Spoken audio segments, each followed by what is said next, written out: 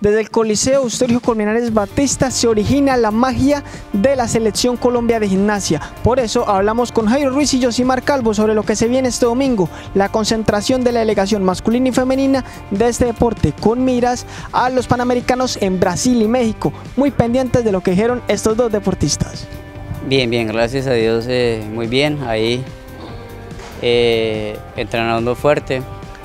Mm, nuevamente eh, retomando el nivel. No ha sido eh, eh, un proceso fácil, hemos pasado por algunos momentos algo complicados porque he estado pues un poco lastimado, lesionado, pero pues la verdad muy bien en esos momentos mm, trabajando fuerte y pues la verdad en esta concentración para para el control nacional que va a haber en 10 días, pues aspiramos a hacer un buen resultado.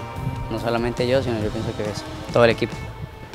Pienso que es la primera vez que va a haber una concentración eh, tan grande porque pues normalmente siempre nos concentraban era nosotros eh, los mayores, pero pues muy bueno eh, esa concentración que vamos a estar todos, vamos a estar eh, trabajando juntos. Bueno, nosotros ya llevamos tres semanas en donde estamos en una etapa de pulimiento, donde hemos mejorado muchas cosas, hemos mejorado el peso de los muchachos, ha bajado, eh, nos hemos cuidado en todo sentido de la preparación física, técnica, táctica, en todo. Eh, estamos viendo hasta ahora los resultados porque es que todavía falta tiempo. Todavía quedan quedan 100 días. Entonces yo no puedo tener la forma antes de una competencia fundamental que me faltan 100 días. No, yo tengo que ir progresivamente. Eso es un factor. El otro factor, pues, eh, está la segunda concentración que se realiza aquí en Cúcuta y ahora anexaron la rama femenina eh, eh, a partir del domingo. ¿sí? va a ser 10 días de concentración.